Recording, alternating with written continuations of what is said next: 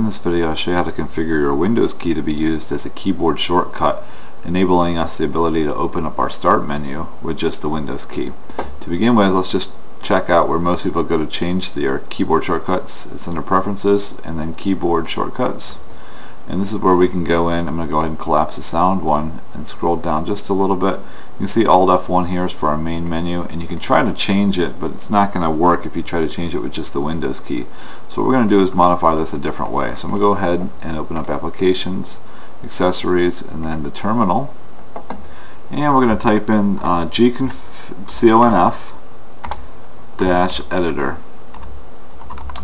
and hit enter and this is going to open up our configuration editor. We're going to go to the apps. I'm going to scroll down and click on MetaCity and you're going to find the global key bindings. So I'm going to go ahead and click on global key bindings. Now I'm going to scroll down here until I can find the, I may have to scroll up. There it is. Panel main menu. There's our Alt F1. I'm going to go ahead and click in there. This gives us the ability to actually just type it in. So I'm going to go ahead and type in super underscore and then the capital L and then hit enter and that's going to make it work for us. And we're just going to go ahead and close out of this now. And I'll just double check this by going back to my preferences keyboard shortcuts. And you should be able to see.